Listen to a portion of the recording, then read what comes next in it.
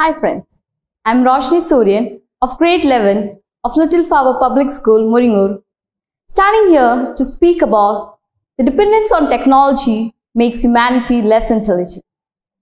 Well, humans depend upon technology for each and everything. For example, from his house to his school, college, office, etc. There's not even a single place where technology is not used. There are advantages as well as disadvantages of technology. But according to my concern, there are more disadvantages because one of them is that it decreases human intelligence. Now, a question arises. How? The answer to this question is very simple. Earlier, we were stretched to find out answers by our own or from anywhere, either from our teachers, parents, or from our books.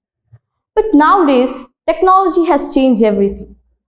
Because of the inventions of mobile phones and internet, we have become so lazy that we do not even try to find out answers by ourselves. We depend upon Google and internet to find out answers.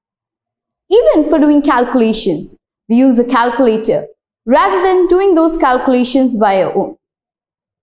There's a similarity between all these things, and that is all these things as decrease our intelligence. We are not determined or curious to know any answer or to find any answers by ourselves. We are totally dependent upon technology.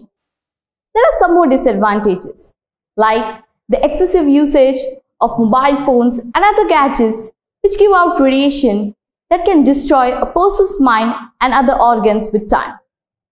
You might have noticed, when you get glasses, people often say that it is due to the excessive usage of mobile phones or watching TV. Why is it so? It is so because these gadgets give out radiation which are not good for your human eye and brain. And obviously, something which is not good for our brain affects our intelligence too. Our parents often blame us that we are not able to do good in our studies because of the excessive usage of mobile phones and other gadgets. It is because these gadgets have now become a center of attraction and they attract students especially. Spoil their future by making them busy most of the time. Young boys and young girls have now become inordinately addicted to these gadgets. They thoughtlessly and uselessly wasting most of the time on these gadgets. Wise people say, time well utilized is time well spent. The only way to solve this problem is to understand the difference between exploitation and overexploitation of technology. There is a very thin line between both these things. If you get to know the difference and if you understand the difference, then you can use technology as a boon. Thank you.